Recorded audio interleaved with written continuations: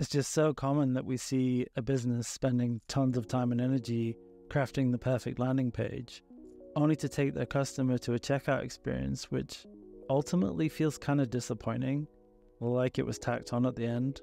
Maybe they're even taking their customer to a new tab which looks completely different than the rest of their website.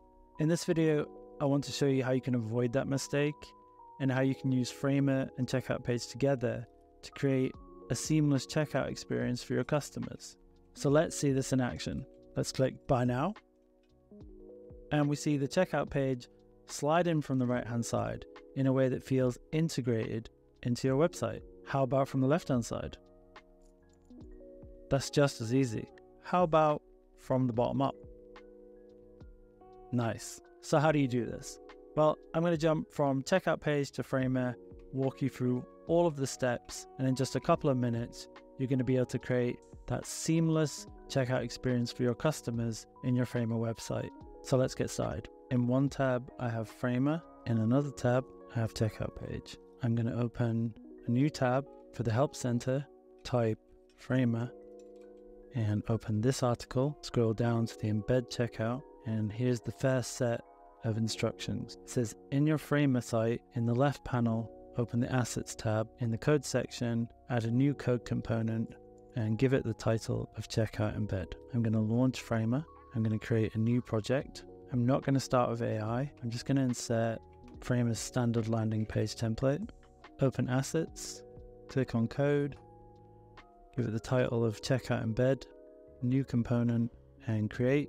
In here, there's already some code. Let's just select all of this and delete, head back to checkout page, and I'm going to copy all of this here, paste it, hit save, and you'll know this is working because on the right hand side here, you'll see this example checkout page load. Let's head back to the home page in Framer, and I'm going to zoom in here and select the button. On the right side, I'm going to click the plus for overlay, and that means that when somebody clicks on this button, it will open an overlay. And this box here represents the full width and height of your browser. Inside of this box, you need to add a frame for the checkout page to sit inside of. So I'm going to go to layout and click frame. I'm going to draw a frame in here. So personally, I like to change most of the look and the feel of some of these things in the right hand side. So I'm going to click on this, align it like that, and I'm going to change the width and height. I'm going to change the width to relative and make that 35% wide. And I'm going to change the height to relative 100% tall. I'm going to change the background color to white, change overflow to scroll. Lastly, I need to add the effect of the overlay sliding in from the right hand side. So I'm going to click on effects, slide in right. So I have a button, an overlay, and a frame. Let's duplicate this layer. So now we have two frames stacked on top of each other, and I am going to replace this frame with the checkout embed that we created earlier. And now I need to drag this on top. Now the embed has been added into our frame inside of our overlay, and it's taken on some of the properties that the frame had. For example, its width is 100% and its height is 100%. If we look down, we can see that this checkout embed has a checkout link associated with it.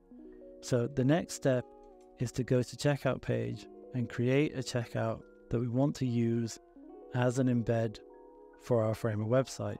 So let's open our dashboard in checkout page and this is my dashboard tons of examples in here. Remember that in checkout page, you can create as many checkout pages as you want. Click create checkout in the top right, and let's give this an example. And I'm just going to call it ebook for now. And I'll just leave this as a one time payment and give it a price of uh, $19. Click create checkout. Remember, you're seeing our branding because it's my checkout page account. So the first thing I'll do is just get rid of that. Go to design, I'll just get rid of the logo. I'll get rid of our business name, center align the text, and click save, click add to site, and I'm going to copy the checkout link here. Let's go back to Framer and I'm going to paste this checkout link in here. Unfortunately, right now you don't see any change. You need to actually refresh the browser. And now we've done that, we'll click back on the button, go to layout and click on the overlay and you'll see Framer has updated the embed in the frame in the overlay.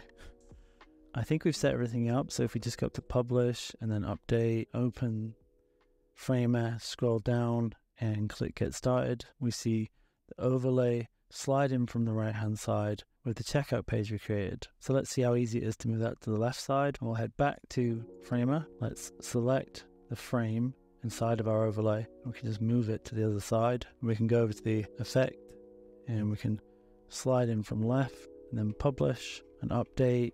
I think if we refresh this tab and there we go.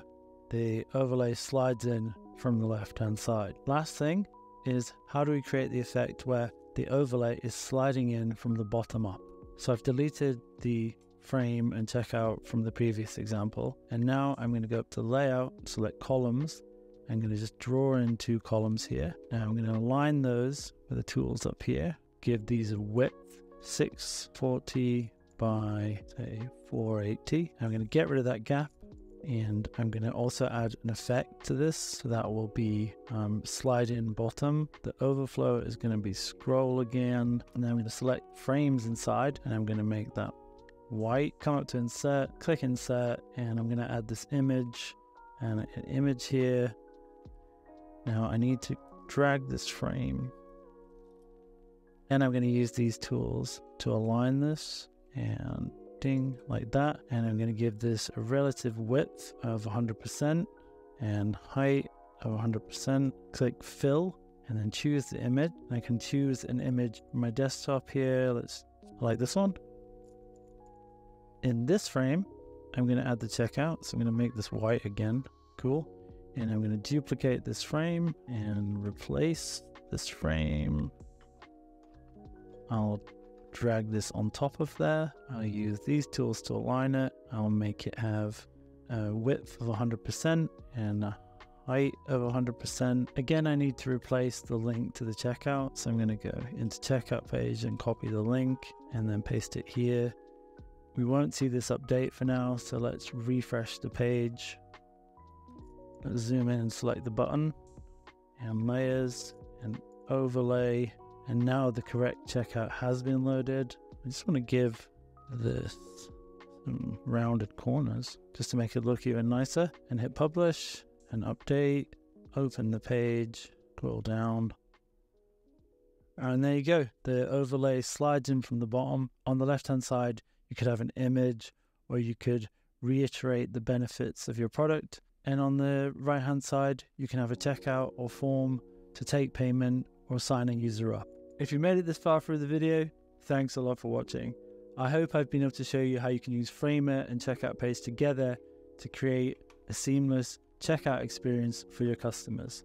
This is really going to help you build trust and increase your conversion rate. Please reach out if you have any questions or have any suggestions for videos you'd like to see. If you're new to Checkout Page, we have a 14 day free trial that you can sign up for and try all this stuff out. Thanks a lot. Till next time, goodbye.